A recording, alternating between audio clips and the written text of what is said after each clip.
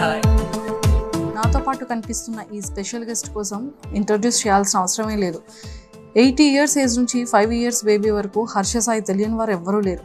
Harsha Sai name కాదు ఒక brand. Age twenty three కానీ దాన్ని చేసే వీడియోస్ మాత్రం కొన్ని కోట్ల మంది ప్రజలకు ఇన్స్పిరేషన్ అని చెప్పొచ్చు. ఇండియాలో తెలుగు డిజిటల్లో నెంబర్ వన్గా ఉన్నారు.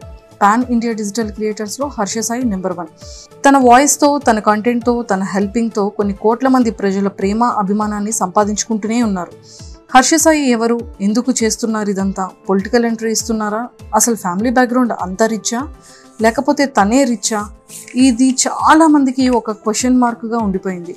సామాన్యుల మనుషుల దగ్గర నుంచి పొలిటికల్ లీడర్స్ సెలబ్రిటీస్ ఎంతోమంది క్రియేటర్స్ వరకు అసలు హర్ష సాయికి మనీ ఎలా వస్తుంది? ఇంత మనీని ఎలా అందరికీ పంచిపెడుతున్నాడు ఇంత మనీని ఎలా హౌస్ కన్స్ట్రక్షన్ కానివ్వచ్చు అండ్ అలానే barber shop కానివ్వచ్చు petrol bunk one day open కానివ్వచ్చు ఇవన్నీ అసలు తను ఎలా చేస్తున్నారు అనేది ఎంతో మందికి ఒక క్వశ్చన్ మార్క్గా ఉండిపోయింది.